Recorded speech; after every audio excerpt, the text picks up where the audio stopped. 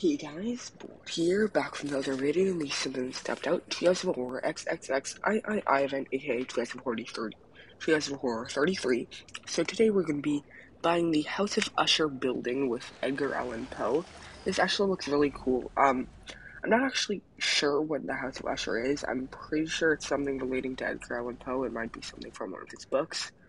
I'm just not very familiar with his literature, so, you know, comment down below, um, people who know a lot about like books and stuff because I've I don't know much about Edgar Allan Poe, but I'm very excited for this character because um, he's definitely still a really cool like um, author. Uh, if you look back um, in like the first Treehouse of Horror, actually, um, the Raven segment is um, it just a complete telling of. Uh, the his Raven story, and it's really great animated with um, James Earl Jones doing the voice acting. Definitely one of my favorite segments, actually, in the Jurassic Horror. So I think that's gonna maybe they'll connect that because Raven is in the game.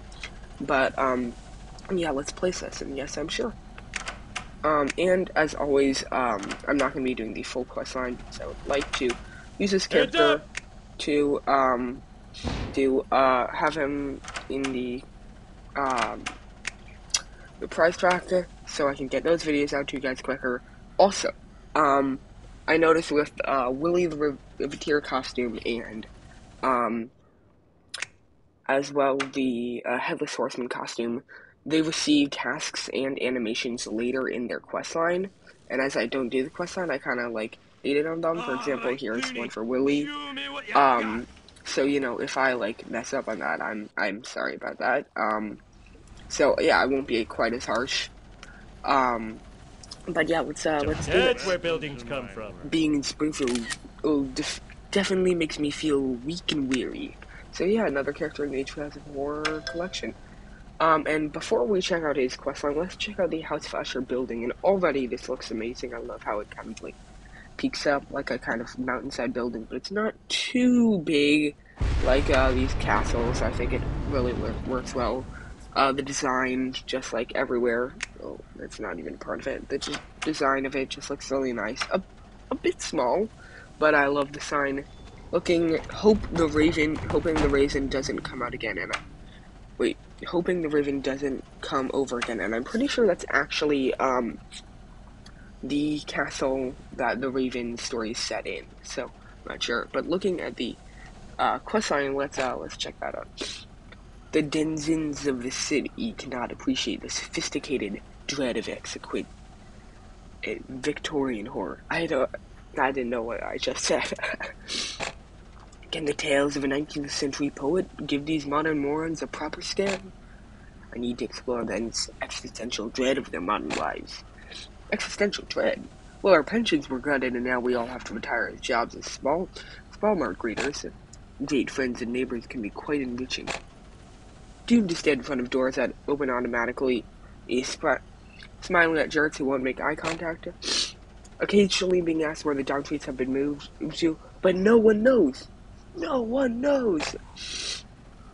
Gasp. that does sound horrific. Maybe the modern world has more inspiration to provide than I initially believed. So pull look for inspiration and okay, yeah, so that is a animated and it does look like the animated tasks will be through the quest line. But, lucky for us, uh, one of his anime tasks actually is in the beginning of the quest line, so I will be checking that one out, but his other tasks are 60 minutes look for quill pins, 8 hours dancing senior burns, 8 hours secretly binge reality TV shows, 24 hours try to pitch the Raven 2, and I'm sure there will be a 12 hour and 4 hour. Uh, I think this is the 4 hour, and then the 12 hour will be the other animated one later in the quest line. But let's check out Look for Inspiration. Oh, and uh, yeah, he's riding the three headed fish, pops up. Uh, I'm guessing it's just gonna be him walking around, and then that three. Is it only the three headed fish? I do kind of wish. three headed fish, wish, yeah. Okay, one complaint I do like this animation, but I feel like we could use a little more variety instead of it just being the three-eyed fish one over and over again. Um, because mm-hmm. I would much like it. Um, but overall, just looking at his character design, uh, he was like shown in the show through a um, like a little couch gag, I think, for the Guillermo del Toro um, Jurassic Horror opening, by the way. One of my favorite Jurassic Horror openings.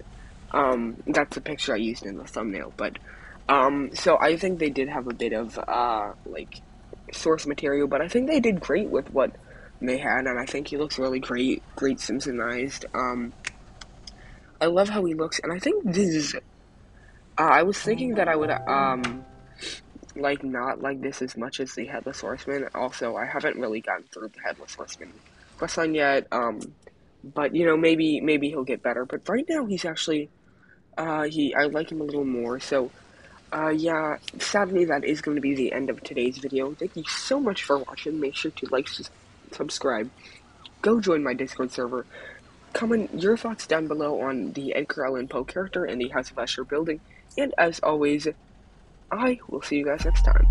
Bye.